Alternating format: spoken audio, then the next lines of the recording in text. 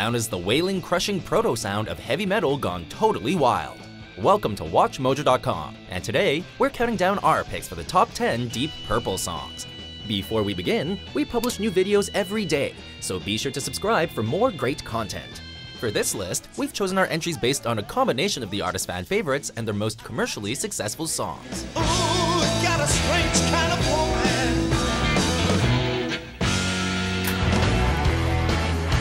Number 10, Woman from Tokyo.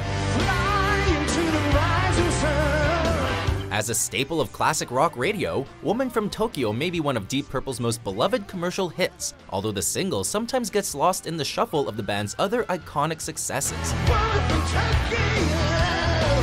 With lyrics recounting the band's first Japanese tour, the song was taken from the album Who Do We Think We Are, which was the band's final release with famed frontman Ian Gillan and beloved bassist Roger Glover until 1984's Perfect Strangers saw the classic lineup reunite for a comeback record. Still, this memorable mid-paced number certainly isn't a bad note to go out on, right?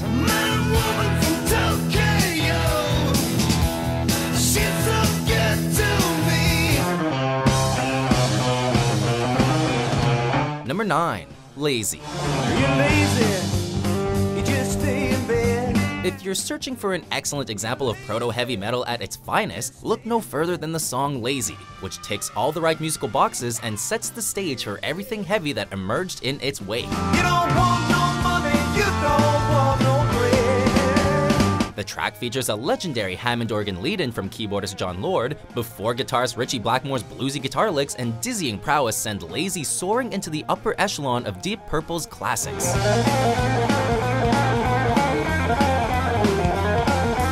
Sure, it could be argued that Machine Head is an album full of stone cold killers, but for our money, Lazy is amongst its best.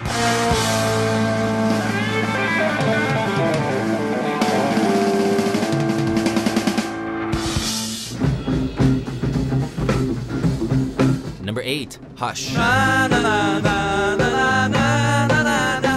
the only song on our list to feature founding member and original Deep Purple vocalist Rod Evans, Hush is actually a cover of a 1967 song by singer Billy Joe Royal. She broke my heart, but I love her just the same now. Although the Purple version would arguably become the definitive version of the track, their take on the Joe South Penn slice of gospel rock is drenched in the psychedelic style that defined Deep Purple during their debut era.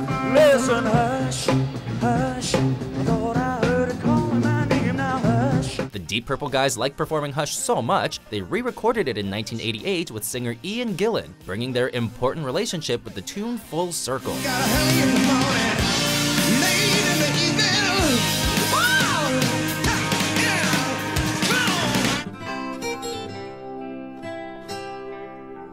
Number 7, Soldier of Fortune. I have often told you stories about. Opinions are generally split when it comes to Deep Purple's Mark III era lineup, particularly about their second album Stormbringer, which features future Whitesnake singer David Coverdale on the mic. I'll always be a soldier of fortune. Make no mistake, Mark III Purple could definitely bring the sonic thunder. Listen to Stormbringer's epic title track or its bluesy burn counterpart Mistreated to see what we mean.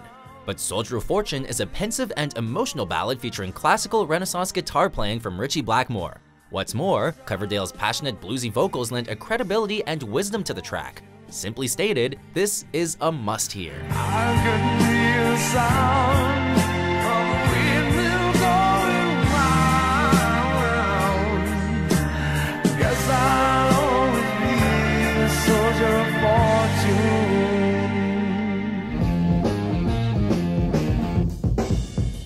Number 6, Black Night.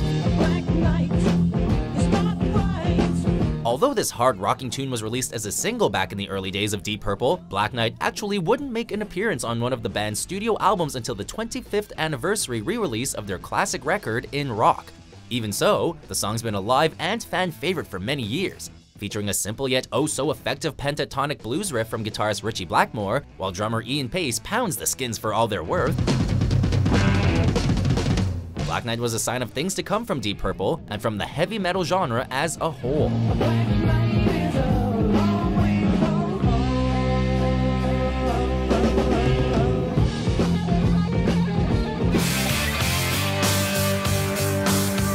Number 5. Perfect Strangers.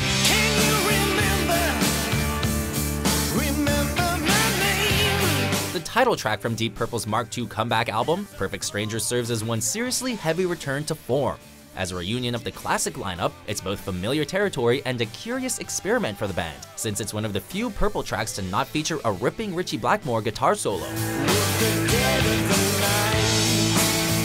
Instead, the guys opt for an Arabic-tinged melody reminiscent of Led Zeppelin's Kashmir, while Ian Gillan does his best Robert Plant impression, spouting off Michael Moorcock-inspired fantasy lyrics that wouldn't have sounded out of place on their Stormbringer LP. Add to this the track's crushingly heavy main riff, and you've got a winner.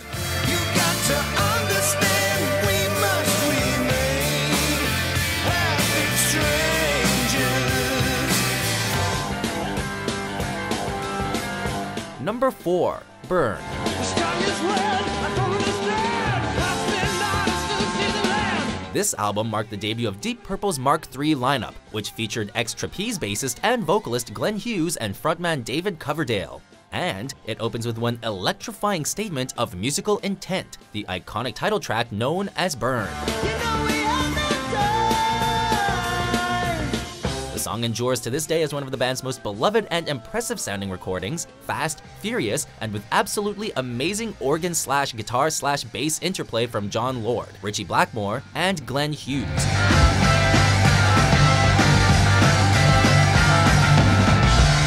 Also benefits greatly from the dual vocals of Coverdale and Hughes, the latter of whom delivers a hair-raisingly awesome bridge that helps lift the song from great past classic to pure solid gold.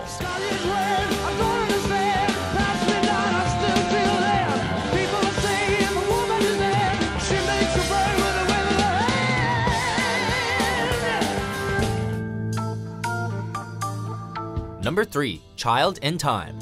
Sweet child in time. Epic in length at over 10 minutes, and with an anti-Vietnam War statement, this next song has endured as a Deep Purple fan favorite over the years, and with good reason. It's a magical metal monster. Child in Time is most known for the tour de force performance from Ian Gillan, as the lead singer wails and howls over a basic but heavy arrangement from Ritchie Blackmore and company.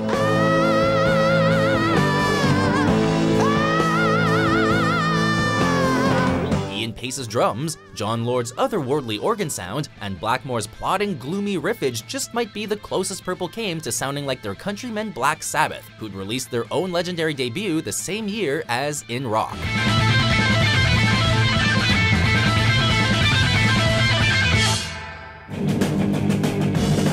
Number 2. Highway Star.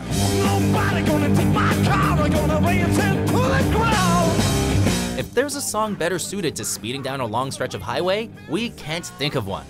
Machine Head is perhaps Deep Purple's most beloved album both critically and commercially, and Highway Star is one of its most famous tracks.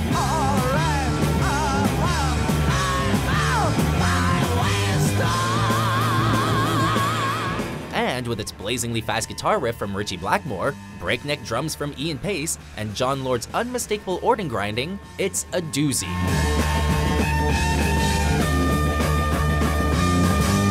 Classic rock this fast hadn't even been imagined back in 1972, but Highway Star set the stage for nearly all the thrash and speed metal bands that would erupt in the 80s, many of whom were likely inspired by this slice of deep purple metal madness.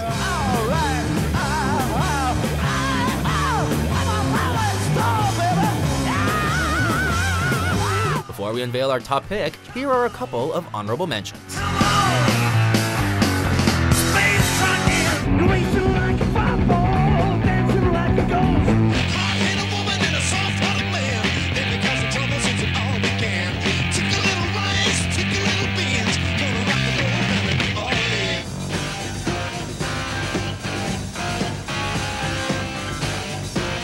Number 1. Smoke on the Water. We all came out to Montreux, As Deep Purple's most enduring and iconic song, this inspired gem ranks as one of rock and roll's landmark classics, with millions of fans and guitarists alike drawn to Ritchie Blackmore's Godzilla-sized opening riff.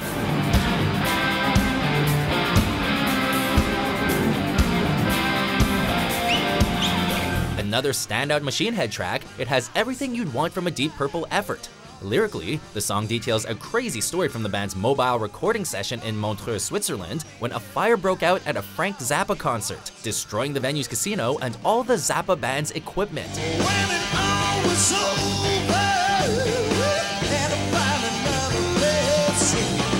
Purple themselves watched the smoke billow out from the safety of their hotel room, but it was an inspiring enough sight that it spawned this eternal song.